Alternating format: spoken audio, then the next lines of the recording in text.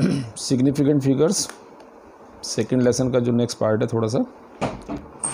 What mean by significant figure देखो बच्चों, कोई भी एक मेज़रमेंट अगर हम लें तो उस मेज़रमेंट में कुछ डिजिट्स तो होती है सर्टेन जिसके बारे में हमें बिल्कुल सर्टेनिटी होती है कि करेक्ट है। एक तो वो सारी सर्टेन डिजिट और एक अनसर्टेन डिजिट इनको अगर हम काउंट कर लें तो ये उस मेज़रमेंट की क्या कहलाएँगे? सिग्निफिकेंट फिगर जैसे एक एग्ज़ाम्पल लो, कि मान लिया हमारे पास एक थ्रेड है। और हमें कहा गया इसकी लेंथ मेज़र करो। मीटर स्केल्स की हेल्प से हम इसकी लेंथ मेज़र कर रहे हैं। और इसका जो ये लास्ट एंड है, ये तो पहले आपने तो ज़ीरो पे ले लिया आपने। ये तो ज़ीरो पे ले लिया। और जो लास्ट एंड है, वो फोर पॉइंट सिक्स और फोर पॉइंट सेवन के बीच में आ रहा है।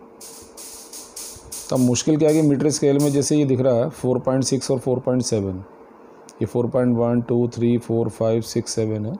इनके बीच में है फर्दर है ना, यहाँ पर कोई भी मार्किंग नहीं है।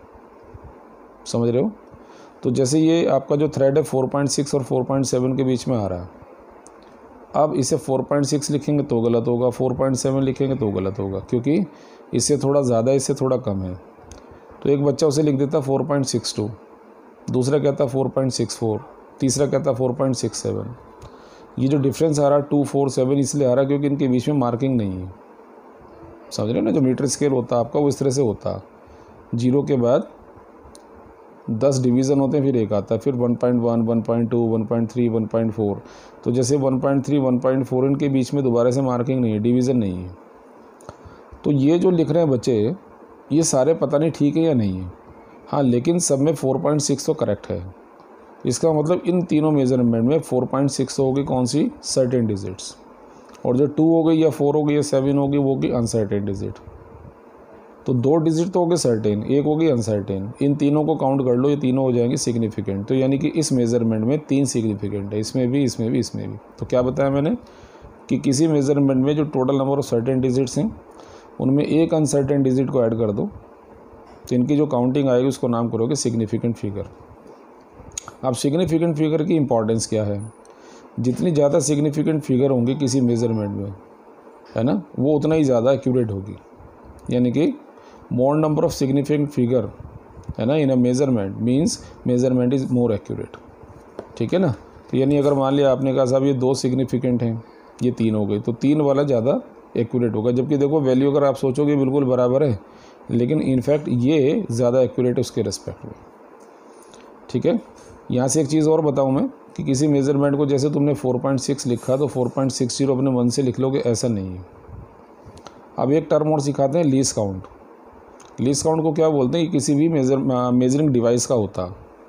It is the minimum measurement that can be taken by a device accurately ठीक है ना? कोई भी मेज़रमेंट जो सबसे कम उससे ले सकते हैं हम एक्यूरेटली उसको काम, नाम देंगे उसका लीस काउंट जैसे least count of metre scale है।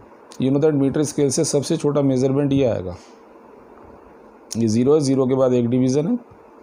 इससे छोटा बीच में है ही नहीं कोई और। तो सबसे छोटी डिवीज़न ये आएगी और इसकी वैल्यू है ज़ीरो पॉइंट वन सेंटीमीटर या वन एम अब इसको फाइंड करना भी सिखा देता हूँ मैं कि जैसे यहाँ तो तुम्हें मालूम था, हो सकता किसी और केसेस में तुम्हें वन डिवीज़न की वैल्यू मालूम ना हो। ठीक है ना? तो तुम पता क्या करो कि तुम ये निकाल किसी भी डिवाइस में टेन टेन डिवीज़न की वैल्यू कितनी है। जैसे टेन डिवीज़न की वैल्यू यहाँ वन सेंटीमीटर है तो एक डिवीज़न की कितनी हो जाएगी? है ना? एक डिवीज़न की निकालोगे तो आपको कहोगे साहब वन बाई टेन होगी, यानी वन पॉइंट वन सेंटीमीटर ही आ जाएगी। ऐसी जैसी मीटर है, इसमें ज़ीरो के बाद टेन डिवीज़न है, फिर पाँच एम्पेयर लिखा।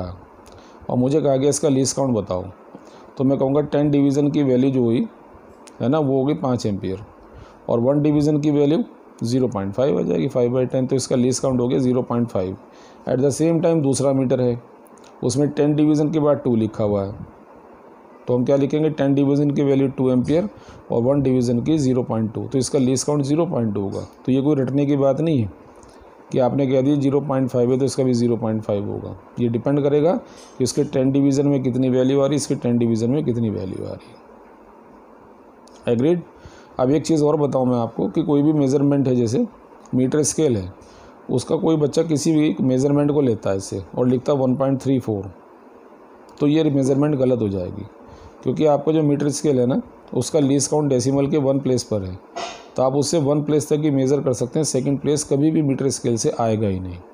इसलिए मीटर स्केल की रीडिंग को कभी भी हम, जैसे सिंपल 1.3 है तो 1.30 लिख ही नहीं सकते। क्योंकि बच्चों डेसिमल के बाद जितनी तुम ज़ीरो लगा रहे हो, इसका मतलब ये होता कि आप उस डिवाइस से उतने प्लेस तक मेज़र कर पाओगे। इसलिए जब भी मीटर स्केल से रीडिंग ली जाएगी, वो 1.3 तक लिखी जाएगी फोर आएगा ही नहीं आगे। वर्नियर स्केल से लोगे, वर्नियर स्केल का लीस्ट काउंट होता है ज़ीरो पॉइंट ज़ीरो वन उसमें वन पॉइंट थ्री फोर या वन पॉइंट थ्री ज़ीरो लिख देंगे, बिल्कुल करेक्ट है।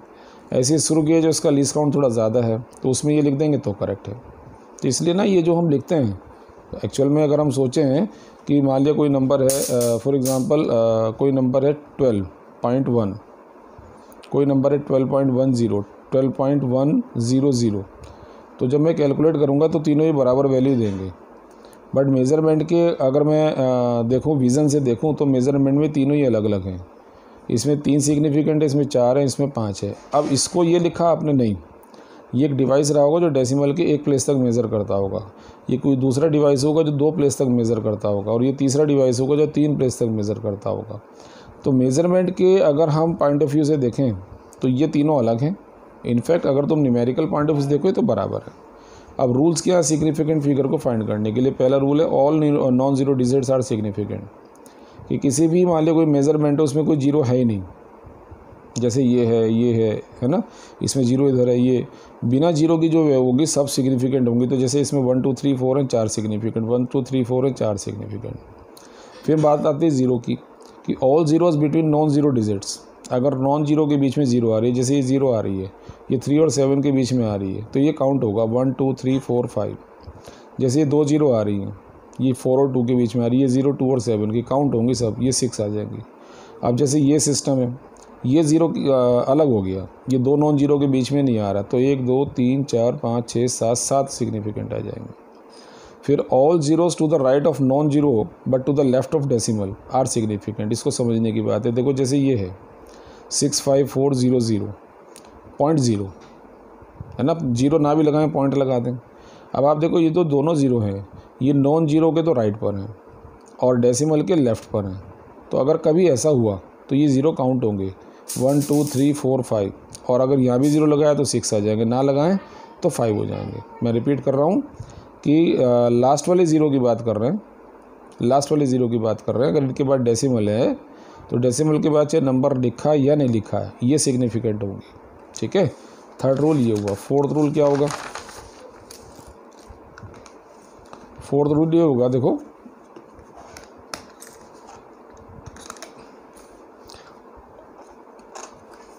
ऑल ज़ीरोज़ है ना? To the right of non zero ये राइट है। R I G H T all zeros to the right of non zero but to the left of understood decimal are significant ठीक है? If it is a measurement otherwise they are not significant जैसे ये है six five four zero zero समझे ना point zero इसको तो six बताया था मैंने। अब जैसे सिंपल है six five four zero zero इसमें डेसिमल लगा हुआ नहीं है ये। तो जब लगा नहीं होता तो अंडरस्टूड है कि हम इसे यहाँ मानते हैं। तो वो कहते हैं इन ज़ीरो को काउंट नहीं करेंगे फिर हम। एक, दो, तीन। लेकिन अगर ये नंबर ऐसे लिखा हो और इसके आगे के लिख दें, ये लिखा के इसका मतलब ये मेज़रमेंट है। तो इस तरह की जो ज़ीरो होंगी, अगर वो मेज़रमेंट में आ रही है, क्या लिखा मैंने? है ना? ये लिखा कि decimals are significant if it is a measurement अगर वो मेज़रमेंट है, तब तो सिग्निफिकेंट है अदरवाइज़ नॉट सिग्निफिकेंट है। तो ये जब मेज़रमेंट नहीं था तो ये दोनों ज़ीरो छूट गई थी, तीन सिग्निफिकेंट थे। और जब ये मेज़रमेंट हुआ तो ये पाँच हो गई। इसलिए टू थर्टी मीटर है। इसमें ज़ीरो है ना? काउंट करना चाहिए, नहीं करना चाहिए, क्योंकि मेज़रमेंट है एम मीटर लिखा तो तीन आ जाएँगे। ठीक है?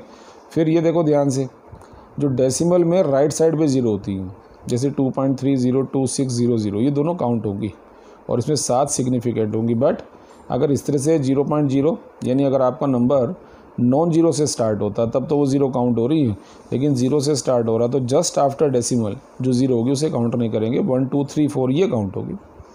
डेसिमल के तुरंत वाली बात वाली काउंट नहीं होगी, अगर ये ज़ीरो है। अगर यहाँ पर नॉन ज़ीरो है और यहाँ मैं ज़ीरो लगा दूँ तो ये काउंट हो जाएगी। समझे ना? इसी तरह से अगर टेन की पावर में आ रही कोई नंबर तो टेन की पावर को सिग्निफिकेंट काउंट नहीं करते। वन, टू, ये दो सिग्निफिकेंट होंगे। और लास्ट पॉइंट कि अगर हम मान लिया यूनिट्स का सिस्टम बदलते हैं, जैसे सेंटीमीटर में है ट्वेंटी थ्री दो सिग्निफिकेंट है। इसको मीटर में लिखेंगे zero point two three metre होगा तो फिर भी दो ही होंगी। किलोमीटर में लिखेंगे zero point zero zero zero two three होगा तो भी दो ही होंगी। यानी कि अगर हम यूनिट्स में चेंज ला रहे हैं तो सिग्निफिकेंट में कोई चेंज नहीं होगा।